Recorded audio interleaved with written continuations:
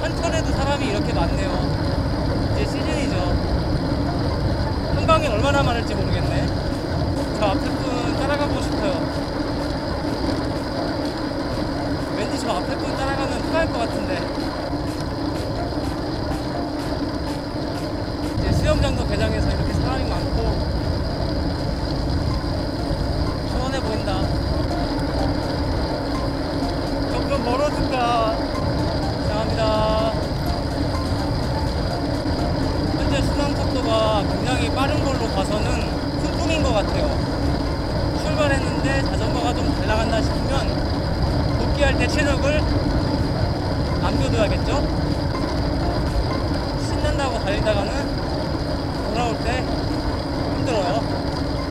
슬슬 심박은 올라가고 거리도 벌어지네요. 은근히 사고가 많이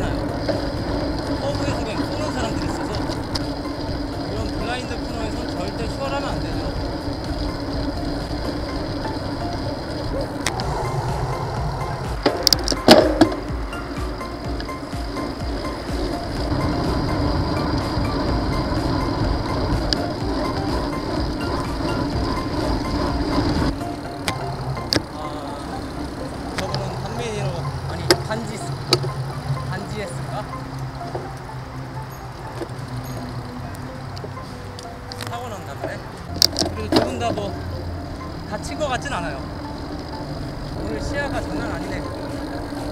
뻥뻥 뚫리네요. 아. 오늘 공기도 좋고 바람도 시원하게 불고 구름도 많이 끼어서 자전거 타기 정말 좋았네요. 눈이 탁 트이는 느낌.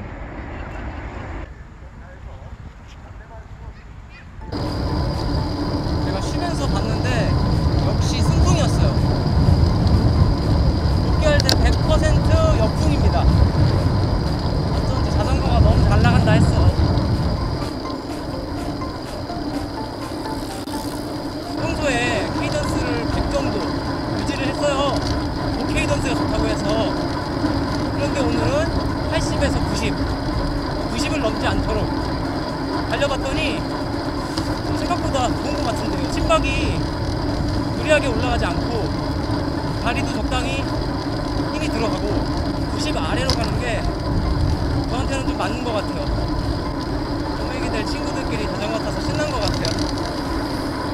헬멧은 썼으면 좋겠는데 뭐 저도 저랬으니까 속도가 잘 나오고 있어요. 이게 무슨 일이지?